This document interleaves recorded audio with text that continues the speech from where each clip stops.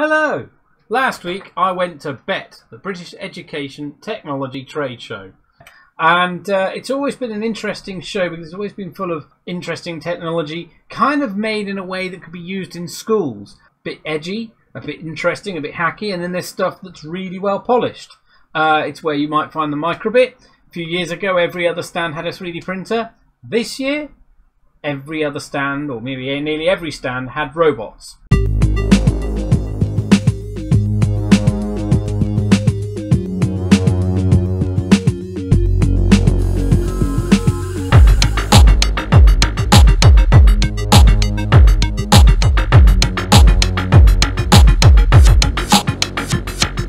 So I took it upon myself, being ever so slightly robot obsessed, to go and take pictures and videos of all the robots I could find. And I'm sure I've missed some, and if I've missed yours, please send it to me and I'll try and feature it as well. So here we go. Roll robots!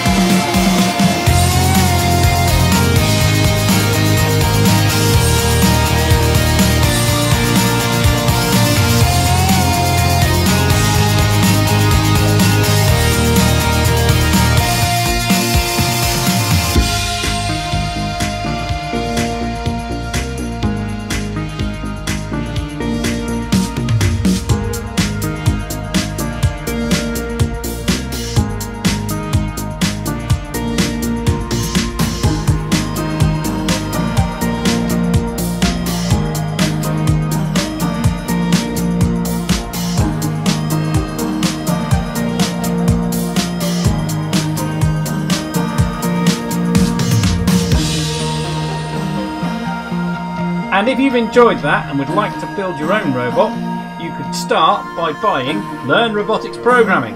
Uh, it's a book from Packt Publishing on Amazon, Waterstones, uh, all good online bookshops, and it tells you how to build your own robot with a Raspberry Pi, program it in Python, how to make it, how to put sensors on it, how to make it see and listen to voices and respond, and uh, you'll build your own cool robot while building skills to build more robots. Awesome. Well, I hope you've enjoyed that, and uh, goodbye, and go make stuff and be awesome!